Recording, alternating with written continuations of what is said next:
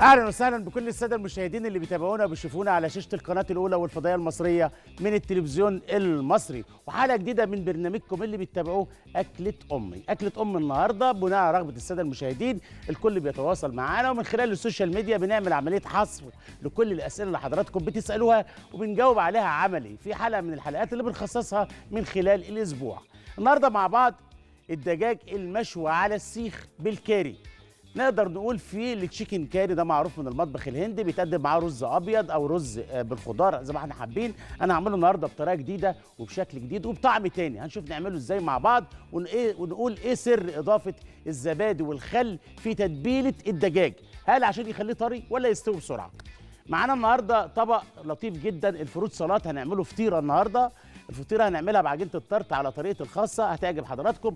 وهنخلي الشوفان يشارك مع ال fruit salad اللي هي تشكيلة من الفواكه اللي موجودة عندنا من عند الفكهاني عندك في درج الثلاجه الأولاد مش بياكلوا الكيوي مش بياكلوا الموز اللي استوى كل ده بيتقطع مع بعض ويتحط في محلول ملحي أو محلول حامض عشان لونه ما يتغيرش.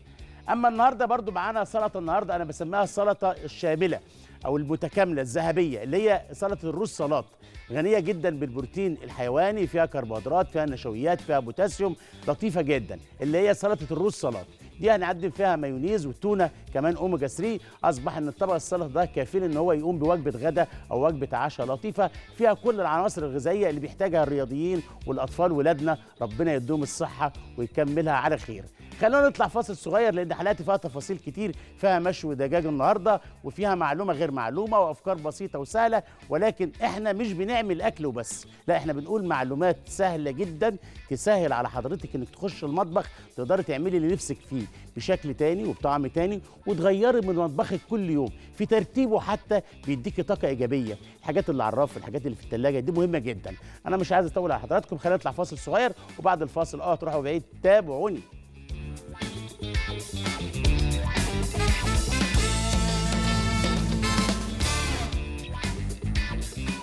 ورجعنا لحضراتكم بعد الفاصل. تعالوا نستعرض مع بعض مشترياتنا إيه النهارده وازاي تقدري انك انت ترتبي مطبخك. ونطلع من الحلقة النهارده عنوان الحلقة ترتيب المطبخ وإضافة صانعة البهجة والسعادة جوه مطبخك.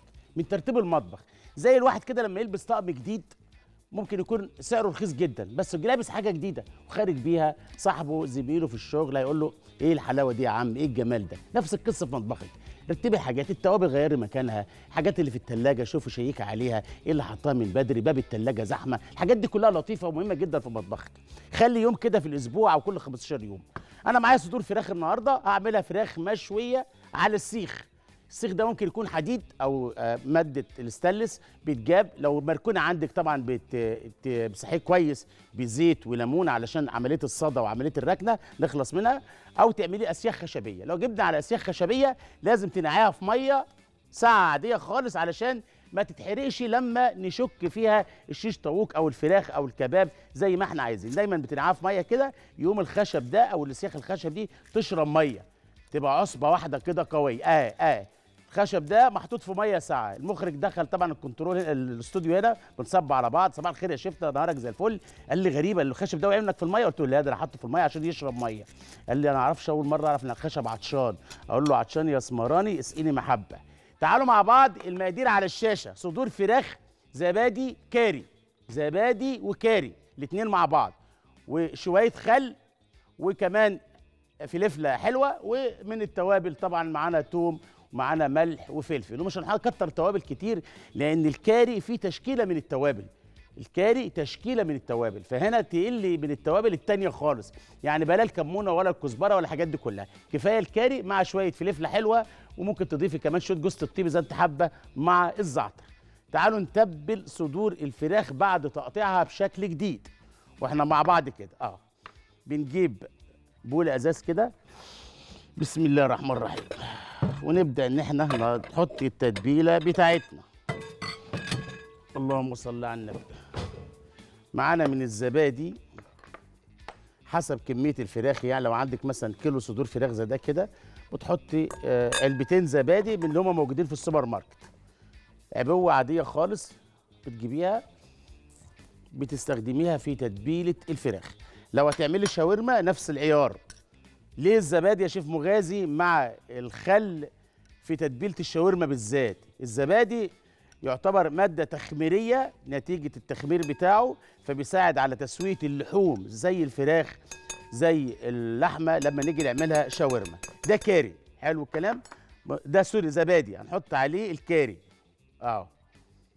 ده شوية كاري. آه. هو الكاري هنا البطل. هو الطعم. هو اللون. طب اللون ده جاي منين؟ من الكركم. إيه هو الكاري يا شيف؟ الكاري ده تشكيلة توابل عبارة عن كركم ده الأساس. كمون ناعم كزبرة ناعمة البهارات اللي هي الأساسية. شوية جوز الطيب ممكن تحط شوية قرفة ناعمين. شوية هيل الناس بقى اللي بتعمل الكاري بذمة. ممكن تحط هيل ناعم ده زعتر برضه أهوت في التتبيلة بتاعتي. زي الفل بشيل دول على جنب كده. ونحط شوية زيت. زيت آه إحنا اتفقنا تتبيلة المشاوي يا عم مازن نحط زيت. أما في تتبيلة البانيهات أو البفتيك أو الكريسبي أو الفرايد ممنوع الزيت. هقول لك دلوقتي الطريقة لعمل التوميه طريقة سهلة وبسيطة وزي بتاعة المطامع زي بتاعة المط... المطاعم. ولكن بخبرة البيت بخبرة الشيف المغازي تعمل تومية إزاي؟ إيه رأيك؟ يعني إحنا دايما نحب التومية اللي بناكلها بره. بس نيجي نعملها في البيت ما بتبقاش زي اللي بره زي الطعمية كده نقلها في البيت ونخدم عليها ونتعب فيها ونفرمها تيجي تحمريها ما تطلعش زي بتاعت بره. السر في إيه بالنسبة للطعمية؟ لازم تجهزي الزيت اللي بتحمري فيه الطعمية تقلي فيه شوية بتنجان شوية بطاطس شوية فلفل حار فلفل اللي هو السبايسي ده شوية بطاطس مقلين شيبسي تقومي حضرت الزيت لقلية الطعمية. لو ما عملتيش كده الطعمية مش هتبقى زي بتاعت بره. حاضر والله العظيم ما أنا داخل على إجابة السؤال. أما بالنسبة ل آه اللي إحنا هنعمله. التوميه لازم ان إحنا نحضر نفسينا ونعملها إزاي. مهم جدا ان إحنا بنجيب نشا ونعمل اللي هي المهلبية الكدابة عبارة عن نشا وحليب على النار ونجيب شوية ملح الليمون قليلين مع عصير الليمون وينضربوا في الكبة. هي دي التومية. بياض بيض نضيف لها مثلا 3 4 بياض بيض لكيلو مهلبية أو كيلو من النشا مع الحليب وزن كيلو. بتضيف له بياض ثلاث بيضات. دي زي بتاعة المطاعم بالظبط هيبقى طعمها حلو جدا. وقلل من ملح الليمون يا غالي عشان حبك ليا كمان علشان ملح الليمون ده بيعمل مع الوقت تهتك جوه في الجهاز الهضمي ويجيب لنا ارتجاع مريء بعد كده. التتبيلة بتاعتي اللي أنا عملتها دلوقتي عبارة عن عصير ليمون وزيت زيتون وخل مع توم طازة فريش أهو. حلو قوي التوم مهم هنا في التتبيلة. التتبيلة دي قوية جدا. والملح والفلفل في المكونات بتاعتي. هنقلب كل دول مع بعض. دي جاهزة اهي. أقول تاني العبارة عن إيه؟ ده إحنا لو قعدنا نتكلم على العدس يا أستاذنا الفاضل يعني هنتكلم إن مش هيكفينا كلام كتير قوي. ولكن أساسي العدس طبعا لما نيجي نستخدمه كشوربة نفكر الأول إحنا هنعملها شوربة تقيلة ولا خفيفة؟ نعملها فتة ولا بالشعرية؟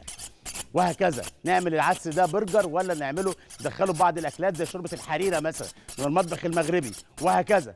ولكن أنا ولكن أنا ان شاء الله معاك يا ابو حميد نقدر ان إحنا نفيدك بإذن الله ونعمله عملي بكذا فكرة. ما تنساش طبعا أكلة الكشري بتاعتنا المصري اللي هو العدس الأصفر مع الرز. أنا بسن السكينة ودايما لما تيجي تسن السكينة اللي هو الحد تمسحي كده السكينة بمنديل أو بفوطة علشان مادة احتكاك الحديد ببعضه أو المعادن ببعضيها. أنا أقطع الفراخ كده أجيب الموزة أقطعها كده. مش هقطعه زي شيش طاووق بقى بالطول كده. شوف إزاي كده اهو نحط دي في التتبيلة اهو. واجي على سد... دي معانا كده تمام مخرجنا الجميل حبيب قلبي اهو. أساتذة المصورين حبايبي اهو صدر الفرخة اهو. اهو اهو. وأشيل ده من هنا حبيبي اهو. اللهم صل على النبي. كلنا بنجتهد حتى تطلع الصورة على الشاشة لطيفة وجميلة وحضراتكم تستمتعوا معانا اهو. شايفين الصدور اهو. بقطعها بالطول كده عشان هدخلها دلوقتي في السيخ بشكل جديد. آه. بشكل حلزوني يعني. آه. كده؟ نفس القصة. معانا جريلا بتسخن على البوتاجاز أو على النار زي ما إحنا شايفينها كده. لازم تكون شديدة الحرارة. دايما أي مشويات بتشويها على جريل في طاسة لازم تكون سخنة. في مثل كان يقول لك اضرب الحديد وهو سخن المشويات بالذات لازم تاخد صدمة نارية على النار. ليه يا عم الشيف؟ لازم كل حاجة لها سبب. علشان نحافظ على السوائل والجوسي بتاع اللحمة أو الفراخ. أنا هبدأ أقطع الفراخ بالشكل ده كده سيبوني لأن أنا عندي عزومة النهارده. أعمل لي 30 40 سيخ عشان ابني عازم صحابه وبنتي عازمة أصحابها. فلازم أعمل لهم كذا سيخ لأن من حلاوة الدجاج المشوي على السيخ بالكاري هياكلوا صوابعهم وراه هنطلع فاصل صغير وبعد الفاصل نرجع فراخ مشوية على السيخ بالكاري.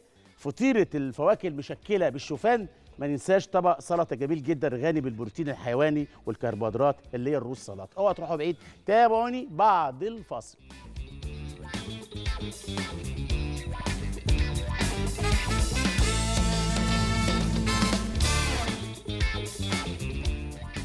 ورجعنا لحضراتكم بعد الفاصل. محلك سرك يا أبو الشيف.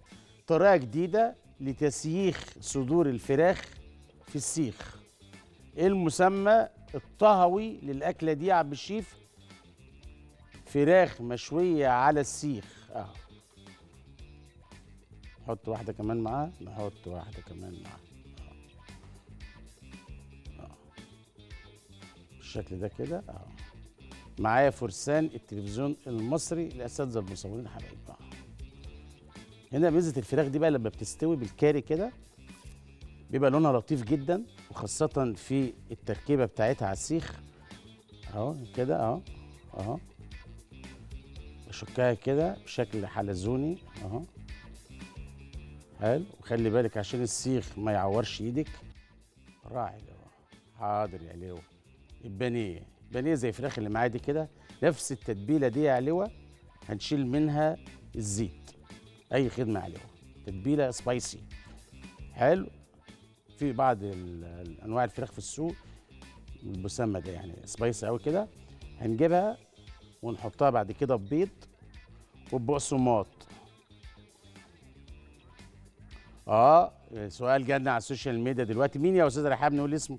عشان نشجع الناس. الأستاذة سارة بتسأل ينفع صدور الفراخ دي يا شيف مغازي نقطعها مكعبات cubes كريات ينفع. ينفع ونشكها بنفس الطريقة بس في الحالة دي نحط معاها بقى شوية مشروم شوية بصل شوية فلفله ملونة كده نروق عليها. بس أنا حاببها بالشكل ده كده علشان ممكن أقدمها مع الرز بالكاري. أنا عامل رز بالكاري النهارده أهو جاهز معانا زي الفل. اتعمل إزاي الرز بالكاري ده يا عم الشيف؟ بنجيب الرز نفلفله في معلقة سمنة بياخد إيه؟ شوية بهارات بدي الحبهان وبعد كده ننزل عليه معلقة كاري والمية بتكون بتغلي أو الشوربة ونسيب الرز يستوي. ده فكرة عمل الرز بالكاري في طريقة تانية برضو اللي هي طريقة البرياني فدي شوية زحمة يعني فبلاشها علشان إحنا معانا فراخ.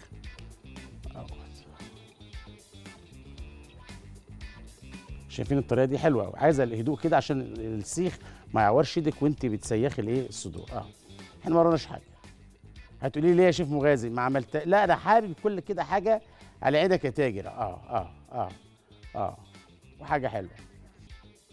شوف بتعمل إزاي في السياق أنا عاجبني الطريقة دي على فكرة. الفراخ بتستوي جامد وأنا من الناس اللي بيحب اللحمة ويل دان كوك يعني مستوية جامد. آه بحبها كده. آه بأمن على نفسي بقى. يعني لما باكل فراخ مشوية بره ولا لحمة لازم تكون مستوية جامد. برجر لازم يكون مستوي جامد. غير كده ما باكلوش. حمام مستوي جامد. ويا سلام جوز حمام كده بعد ما يستوي يتشوي على الفحم. حمام محشي مشوي على الفحم. آه. لطيف وحلو. شفت أنا أهو مصمم إن هو يت... معايا كده أهو. آه. زي الفل ندخل واحدة كمان معاها كده أنا عملت كمية. معايا جريلا بتسخن. أنا بس أحط ده على الجريلا يستوي. وأبدأ أخش في اللي بعده على طول عشان حضراتكم دلوقتي أهو. زي الفل. اهو تمام. كفاية كده؟ كفاية. الصلصة دي مهمة جدا. أنا عايزها. هخليها عشان هشرب بيها الفراخ من وقت للتاني وهي على الجريلا بتت... بتتشوي. خلي بالك ده مهم جدا. اوعي تفرطي فيها. آه. أخبار الجريلا إيه؟ زي الفل. الفراخ واخدة تتبيلة. فيها زيت. ده ما يمنعش إن إحنا برضو نحط معلقة زيت صغيرة على الجريلا. اتعلمي بقى الحاجات دي ونمسح الجريلا دي بايه؟ بمنديل.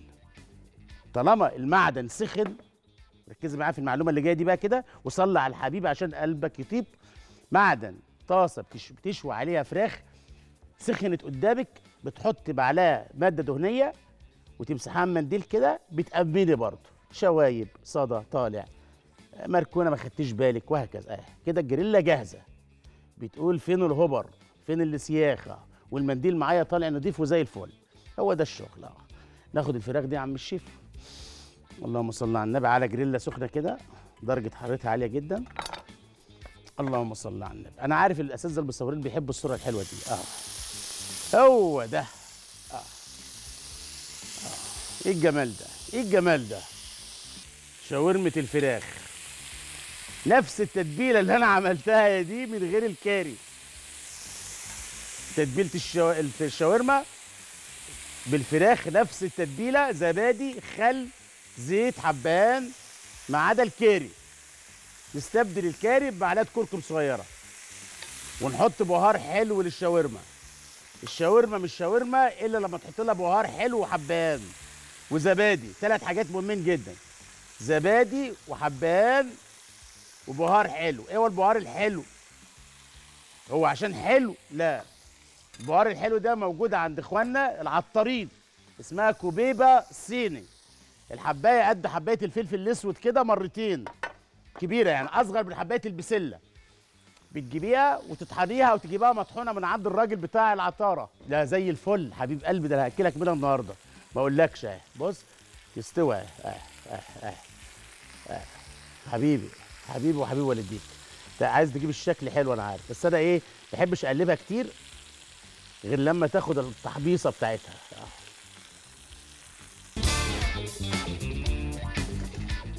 ورجعنا لحضراتكم بعد الفاصل. بتعمل إيه يا عم الشيف؟ مركز مع الفراخ. قلبها بالشكل ده كده. بتاخد اللون البرونزي. كرملة الزبادي. اهو. وفيها طبعا السائل بتاعها. خلي بالك الفراخ دي ما تنشفش منك. حذاري. اهو. اهو. شفت اللون الكهرماني ده؟ حلو. تغيير. هو أنت لو عملتيها مكعبات هتقول لأ؟ طبعا مش هتقول لأ. بس الولاد دايما اللي بيحبوا الفراخ وولادك علشان تشجعيهم ياكلوا في البيت دايما جددي من الحاجة اللي بياكلوها وبيحبوها. يعرفوا إن في ماما في البيت بتحب المطبخ بتحبهم بتعمل لهم حاجات جديدة. الفراخ ما زالت على النار. إيه الصورة الحلوة دي؟ إيه الإبداع ده؟ الفراخ على الشاشة بتتكلم مصر وهي على السيخ بشكل حلزوني. تعالوا نغرف مع بعض الفراخ بتاعتنا اللي إحنا عملناها وشويناها. إيه عدلها بنقدم معاها شوية رز بالكاري. اللهم صل على النبي. إيه الجمال ده يا شيف إيه الحلاوة دي؟ آه. ممكن تقدمي معاها مكرونة زي ما انت عايزة مفيش مشكلة.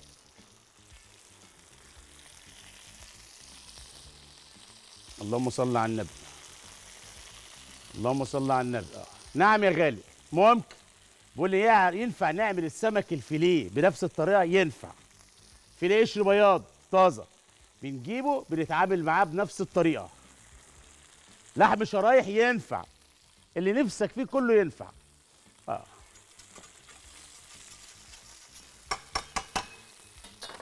اللهم صل على النبي. صدور الفراخ مشوية. حلو قوي. على السيخ. على فين؟ لا مش ال control لا هنا الأول. آه حبيبي حبيب heart ي. آه اللهم صل على النبي. كده الفراخ جاهزة. نعمل إيه يا عم الشيف؟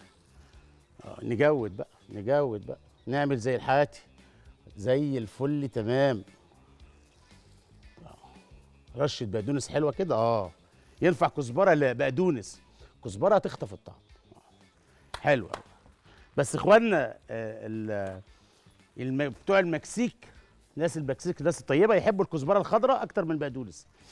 طب وأنا برفع الشواية خلي... خليني أقول معلومة غير معلومة كده. للتخلص من بقايا الشوي سواء بتشوي بتشوي في طاسة أو بتشوي على جريلا مهمة جدا المعلومة دي يا مخرجنا الجميل وأساتذة المصورين عشان حبايبي اللي بيشوفوني للتخلص من الحاجات دي كلها أول ما تحطها في الحوض حط عليها مية. خلصت. مش تاخد منك دقيقة بعون الله. خلي بالك. آه. مية. آه لا طبعا. آه. كده آه. زي ما الشيف عمل كده. آه. هو ده. ده المطبخ. مصداقية وبساطة وسهولة. ليه حطيت مية يا شيف؟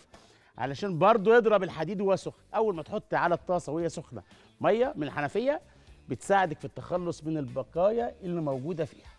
حلقات النهارده بساطة سهولة مرونة. قدرنا نعمل فراخ مشوية على السيخ. عملنا كمان يا عم الشيف حاجة لطيفة قوي. عملنا طبق سلطة فيه كل العناصر الغذائية اللي بيحتاجها الجسم اللي بيحتاجها الطفل في المراحل الأولى من عمره. وعملنا سلطة خضراء عدا للفراخ بتاعتي شوية رز بالكاري لطاف واخدين طعم الكاري. قولوا معايا بصوت عالي كده. ثقة. إن إحنا بنخش المطبخ لازم يكون عندنا عزيمة من جوانا إن إحنا نعمل حاجة جديدة وبشكل جديد وبطعم جديد زي اللي عملناه النهارده بمكونات بسيطة جدا. يعني نقول مع بعض رؤية فن إبداع بتشوفوا كل يوم على شاشة القناة الأولى والفضائية المصرية. منين يا شيف؟ من ماس بيرو. Thank you.